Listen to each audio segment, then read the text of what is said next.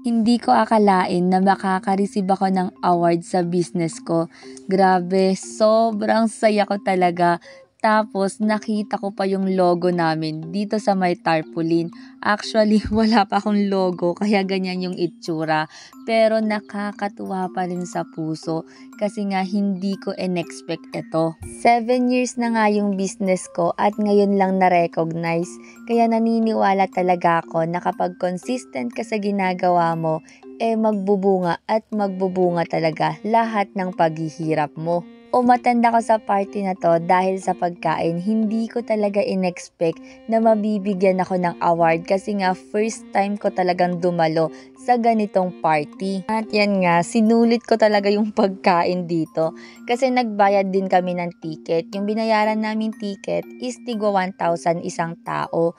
Kaya kailangan sulitin ko yung pagkain, 'di ba? Para worth it naman yung binayad ko. At dahil sarap na sarap nga ako sa pagkain, eh nag second round pa ako. Tapos binalikan ko tong tarpaulin. Grabe, na-amaze pa rin talaga ako. Kasi nga hindi ako makapaniwala na andyan yung pangalan ng business ko kasama yung mga kilala at bigating supplier dito sa Baguio City. Tapos kumuha nga ulit ako ng dessert kasi ang sarap. Alam nyo yun, yung tipong sinulit ko talaga yung 1,000 pesos ko kasi 'di ba, ang mahal eh. Sinama ko nga din si Patrick dito. Yun nga lang nagkamali kami. Kasi akala ko nga wala akong marireceive na award. Kung alam ko lang na meron, eh sinama na rin sana namin yung business niya kasi meron siyang sariling balloons decoration.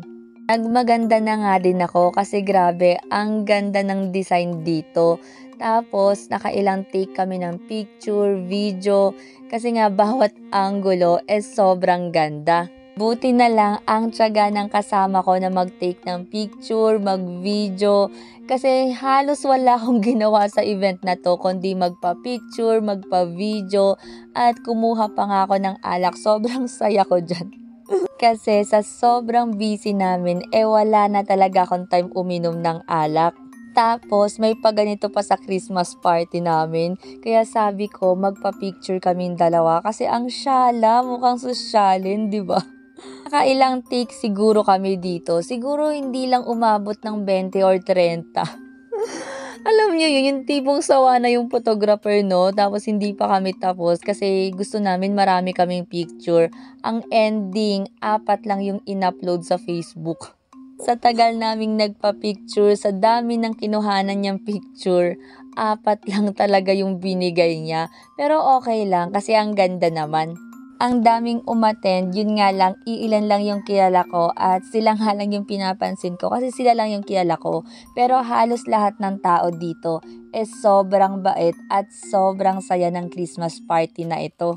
Pero ito talaga yung unexpected at hindi ako makapaniwala na makaka-receive ako ng award tapos makikita ko pa yung pangalan ko nakasama yung mga bigatin at kilalang supplier dito sa Baguio City. Ang masasabi ko lang sa sarili ko, I'm so proud to you. Just!